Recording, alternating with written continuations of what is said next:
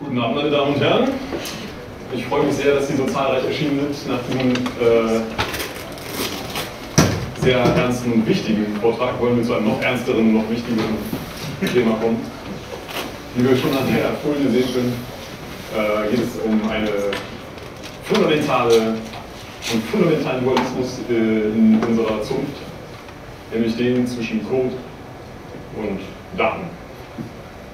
Ich habe äh, nächtelanger Forschung äh, folgendes Schaubild des Status quo erstellt oder ermittelt und dann erstellt. Die eine Nacht hat ermittelt, die andere Nacht hat erstellt. Ähm, und diese zeigt natürlich nur schematisch, stark vereinfacht, ähm, wie sich unser, unser, unser Feld, das Feld unserer Disziplin ungefähr äh, einteilt. Da gibt es einmal das Königreich des Codes, das Kingdom of Code. Ich habe diese Folie auf Englisch gemacht, weil ich die Präsentation eventuell später nochmal auf Englisch halten will und dann muss ich sie noch mal, nicht nochmal bauen. Ähm, das Kingdom of Code äh, besteht aus so freundlichen, netten alten Bekannten wie einer Schleife, die ewig etwas ausführt, oder diesem japanischen Importgut, das in augenblicklich das tut, was ich meine. Oder auch der Klassiker jeder Einführung. Hello World habe ich mir gespart, aber das kann man sich dazu denken, äh, eine Programmiersprache hat.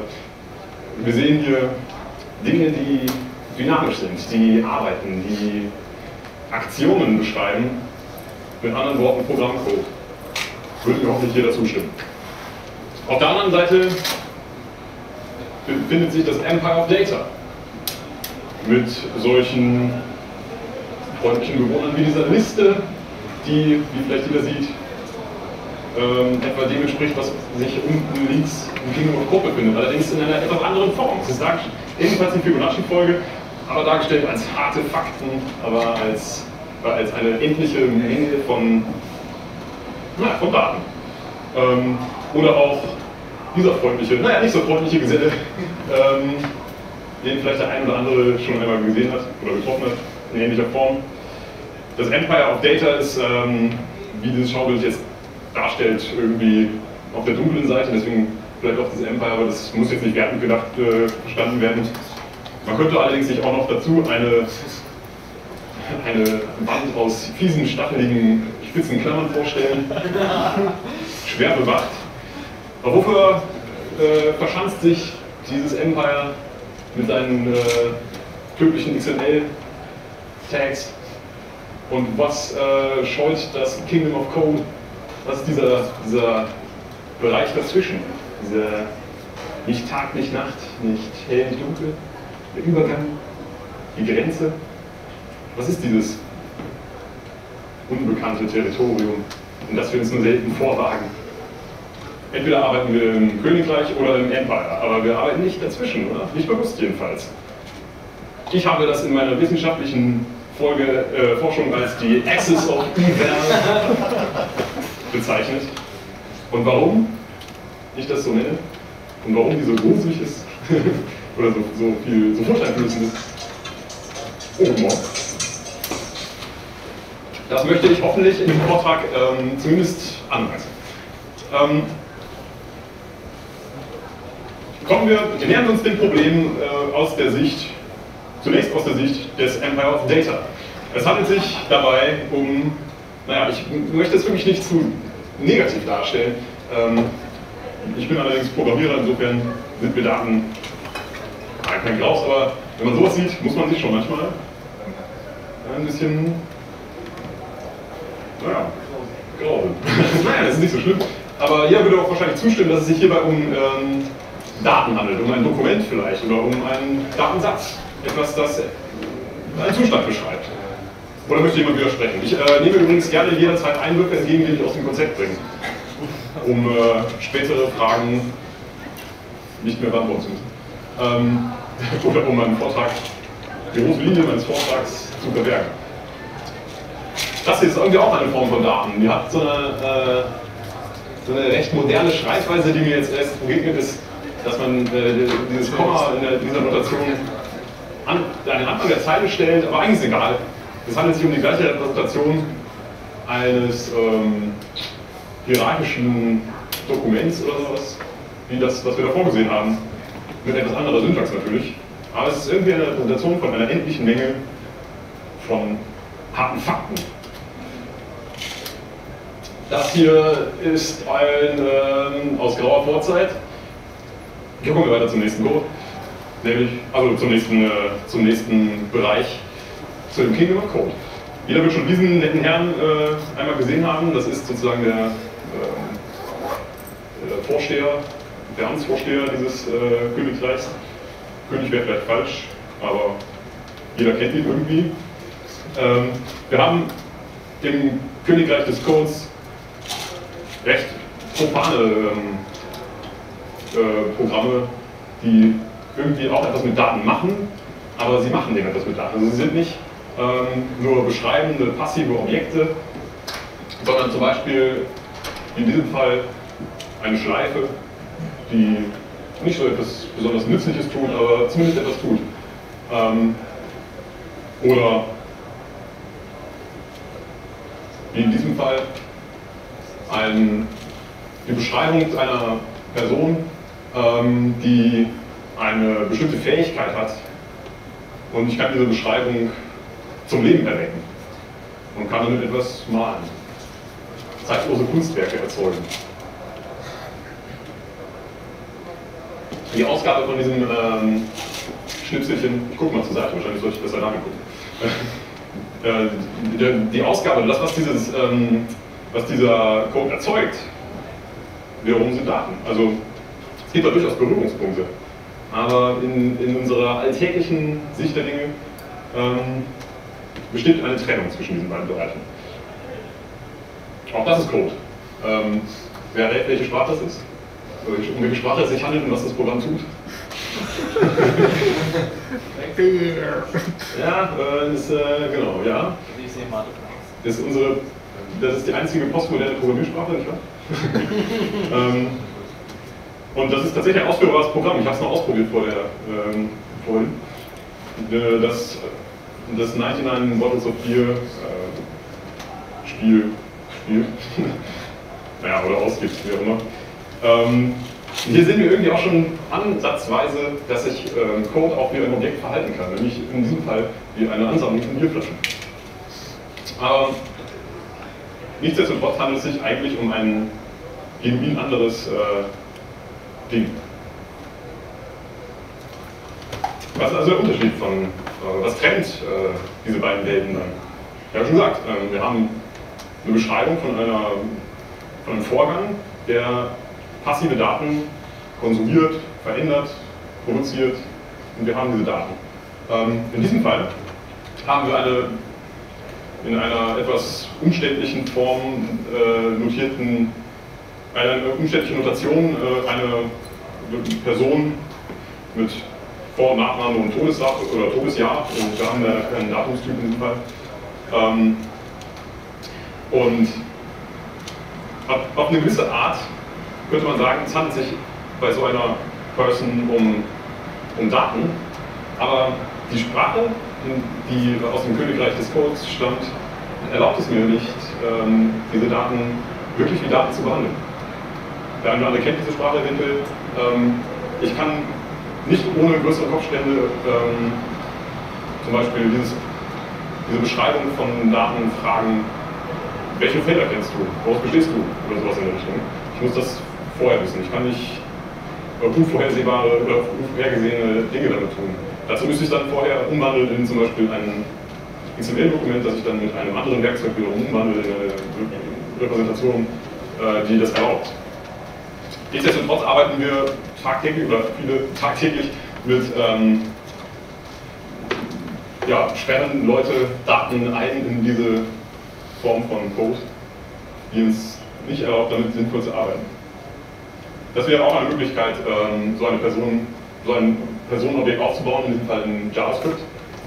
Ähm, die ziemlich nah an dem läuft, was wir da gerade in Java gesehen haben. Das äh, war übrigens Java, das wir zuvor gesehen haben.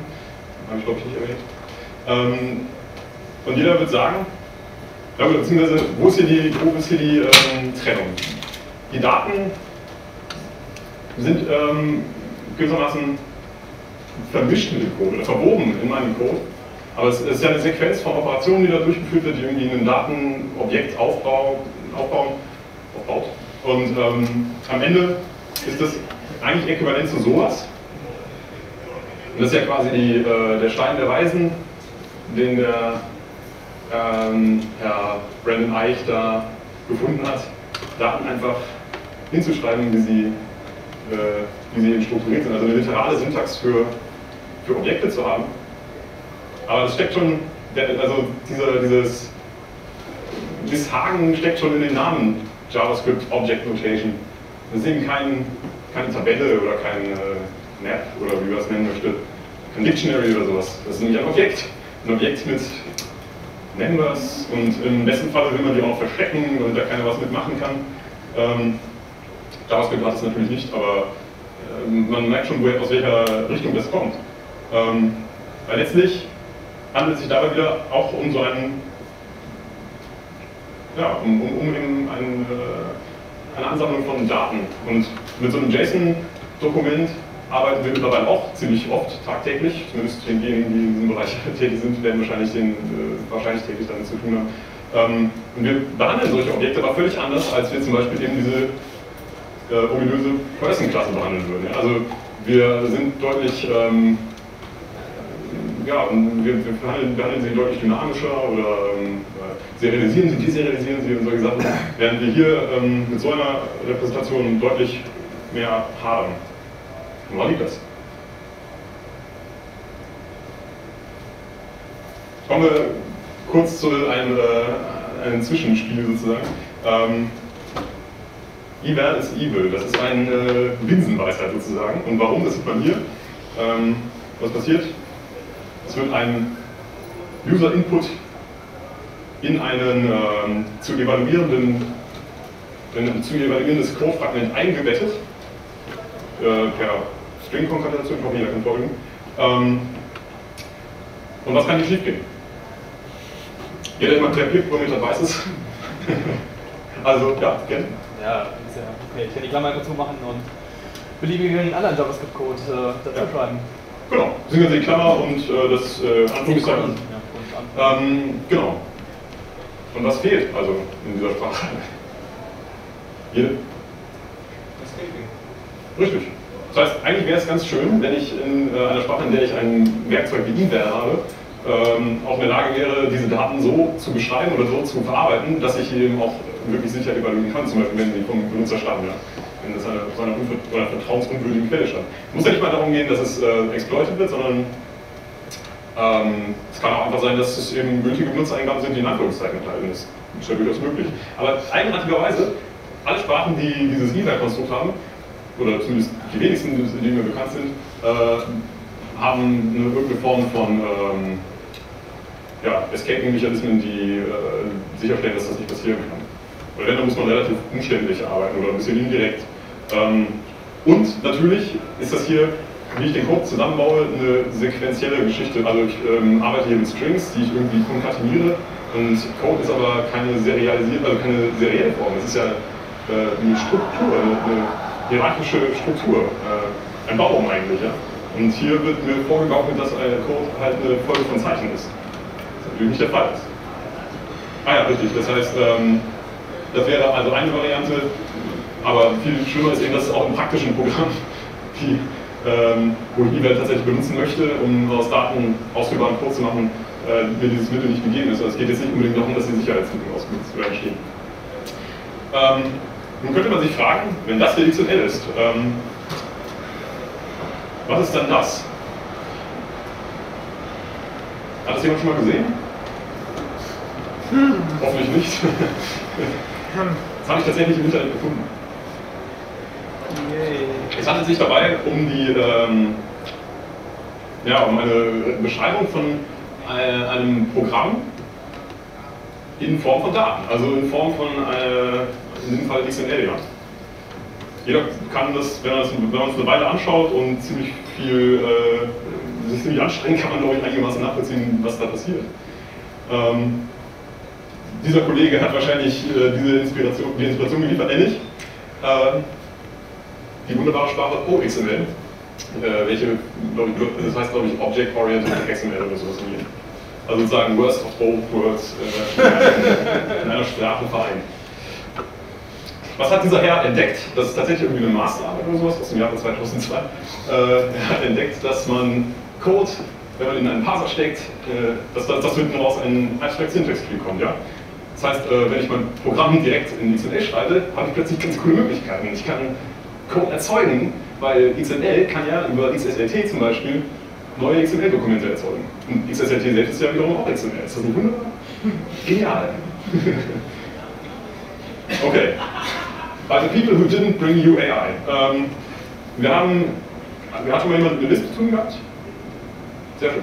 Ähm, der eine andere wird es wahrscheinlich gemerkt haben, oder diejenigen werden es gemerkt haben. Das, was dieses äh, OXML dort beschreibt, lässt sich auch wunderbar in Form eines Lisp-Programms oder in diesem Fall des Scheme-Programms äh, äh, formulieren.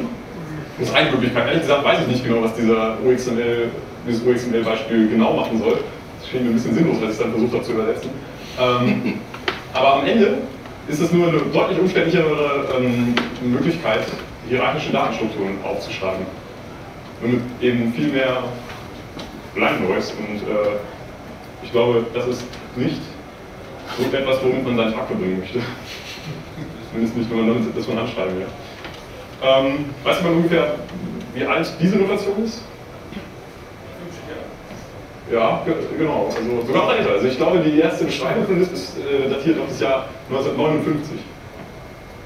Muss man sich mal vor Augen halten. Ähm, also, um sozusagen die, den, den Bogen zu schlagen, was ist das? Stellen wir uns vor, das X ist ein XML-Tag, ein öffnender XML-Tag und dahinter hätten wir noch ein schließenden, äh, Plus, und dahinter hätten wir noch einen schließenden Plus-Tag. Dazwischen sind äh, ein paar Chart-Elemente mit den Werten 1, 2 und 3. Das kann, kann man entweder so lesen, dass es äh, eine Addition von drei Zahlen ist. Der Operator ist eben das, was vorne steht. Ich kann es aber zum Beispiel in Ruby ausgedrückt auch als eine Liste von einem Symbol, äh, eine Liste von einem Symbol plus, gefolgt von den Zahlen 1, 2 und 3 lesen. Mit anderen Worten, ähm, dazu komme ich später, aber in, anderen Worten, äh, das ist sowohl ein Programm als auch eine Datenstruktur. Es handelt sich nur um das Gleiche. Ne? Wie das, was, ähm, was normalerweise in den meisten Programmiersprachen der Parser leistet, nämlich also das, das ähm, menschenlesbare äh, Programm in einen Abstract Syntax Tree zu überführen. Natürlich passiert das bei Lisp auch, aber der Syntax Tree ist ähm, eins zu eins das, was ich in, äh, ja, meinem Programm notiere. Also es ist die, die Kluft zwischen dem, was ich da hinschreibe und dem, was der ähm, Compiler oder der Interpreter macht, ist viel, viel geringer. Und ich habe überhaupt Zugriff darauf. Das ist nämlich in ähm, der Mathematik nicht möglich. Kommen wir zu dem, äh, das, das, führt uns zu dem sogenannten Macro Club.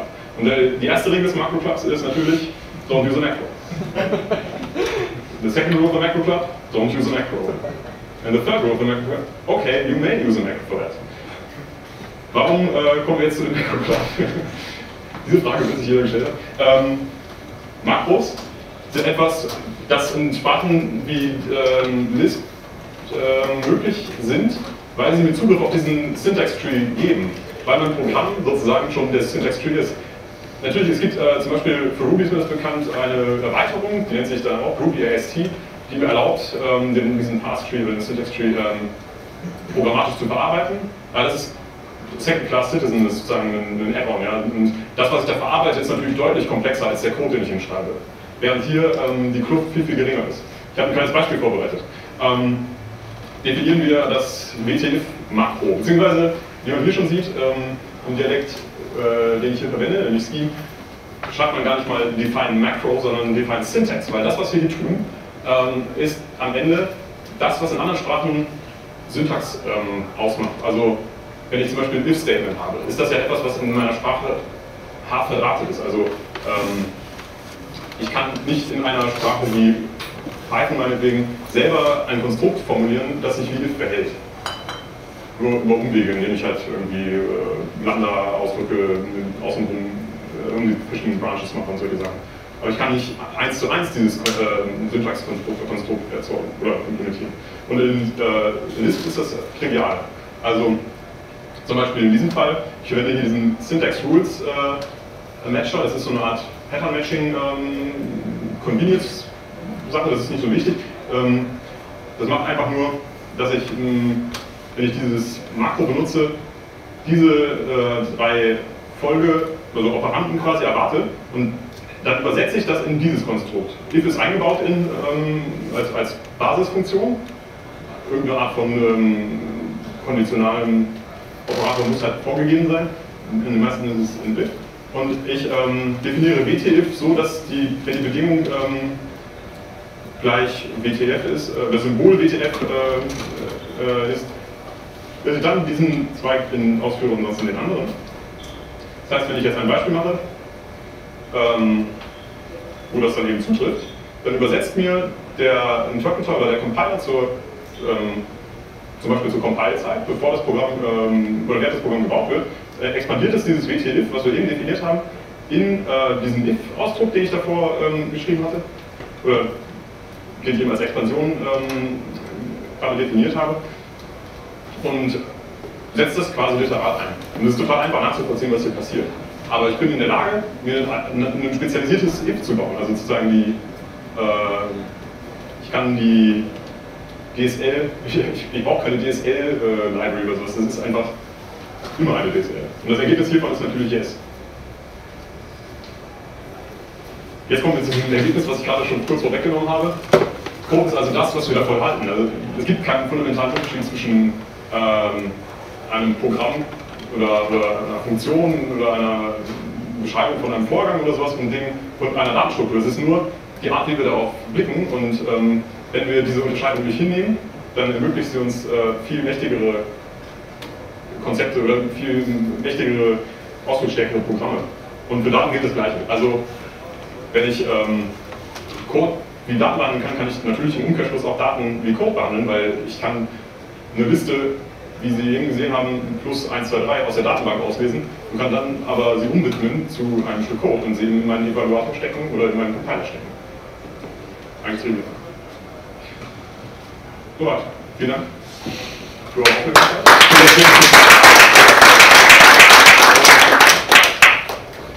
Ja, wenn noch Fragen bestehen, äh, gerne, beziehungsweise ich will euch nicht zu lange hier aufhalten.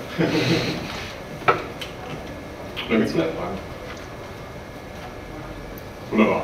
Dann äh, empfehle ich allen, äh, sich ein äh, beliebiges Lisp anzusehen im nächsten, am nächsten Wochenende oder in der nächsten Mietestunde und äh, gehirnexpandierende Expansion vorzunehmen. Vielen Dank.